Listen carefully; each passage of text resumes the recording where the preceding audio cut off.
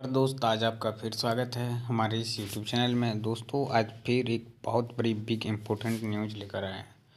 दोस्तों, कल संसद के बहस में बीएसएनएल के बारे में हुई और टेलीकॉम मंत्री जो अभी राज्य मंत्री हैं, देबू सिंह चौहान, उन्होंने फोर के बारे में बहुत बड़ी अपडेट दी है। जी हाँ दोस्तों, उन्होंने फोर के साथ साथ बीएसएनएल प्राइवेट होगा या नहीं होगा, इसके बारे में भी बहुत बड़ी जानकारी दी है। तो दोस्तों, मेरे साथ पूरा वीडियो देखिएगा, उसके बाद पता चलेगा आखिर देवू सिंह चौहान ने संसद में क्या क्या क्या कहा है पार्लियामेंट में क्या कहा है, कि बीएसएनएल अब प्राइवेट हो जाएगा, या BSNL का निजीकरण होगा, या BSNL अभी सरकारी कंपनी ही रहेगी, इसकी कोई प्राइवेट नहीं होगा। तो दोस्तों, इसकी जानकारी हम वीडियो के अंत में देंगे। तो चलिए स्टार्ट करते हैं। तीस सितंबर 2021 तक बीएसएनएल और एमटीएनएल की कुल देनदारी क्रमशः पचासी हज़ार सात सौ इक्कीस करोड़ रुपये और तीस हज़ार एक सौ उनसठ करोड़ रुपये है।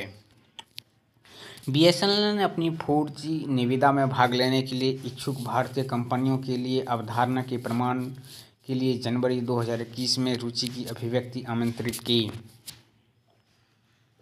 संसद को बुधवार को सूचित किया गया कि राज्य के स्वामित्व वाली बीएसएनएल ने भारत भर में अपनी फोर सेवाओं को शुरू करने के लिए सितंबर 2022 की समय सीमा दी है। तो चलिए दोस्तों, देख सकते हैं आप।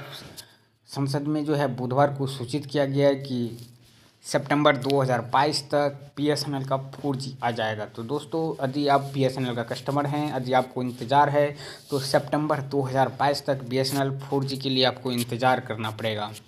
और इस तरह के रोल आउट से पहले वर्ष में लगभग 900 करोड़ रुपए की वृद्धि का अनुमान है। संचार राज्य मंत्री देबू सिंह चौहान ने लोकसभा में एक लिखित उत्तर में स्पष्ट किया कि भारत संचार निगम लिमिटेड और महानगर टेलीकॉम निगम लिमिटेड के विनिवेश के लिए कोई प्रस्ताव विचाराधीन नहीं है। तो दोस्तों, ये स्पष्ट हो चुका है।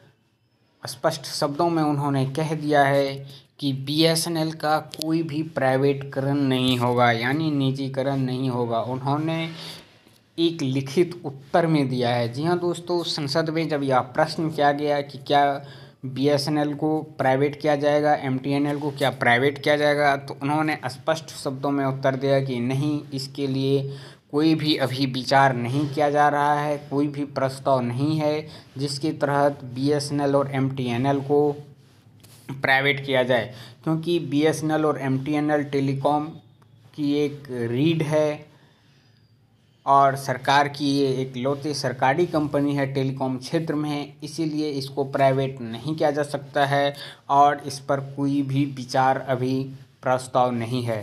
तो दोस्तों, ये बीएसएनएल और एमटीएनएल के स्टाफ के लिए एक अच्छी खबर है और देश के लिए भी एक अच्छी खबर है कि बीएसएनएल का अभी कोई भी प्राइवेटकरण नहीं होने जा रहा है।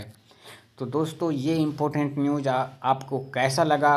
और फोर की बात करें तो दोस्तों फोर जी सितंबर 2022 तक में आने वाला है तो निश्चित ही 2022 के पहले आ जाएगा। यदि दोस्तों ये न्यूज़ आपको ये खबर आपको अच्छा लगा है तो एक लाइक का बटन ज़रूर दबा दीजिएगा। दोस्तों के बीच भी शेयर कर दीजिएगा ताकि दोस्त आप, आपके दोस्तों को पता चल सके कि बीएसएनएल कभी प्राइवेट नहीं होगा अभी। इसके लिए कोई भी प्रस्ताव अभी नहीं है फ़िलहाल और फोर जो है सितंबर 2022 में आने वाला है। तो धन्यवाद दोस्तों।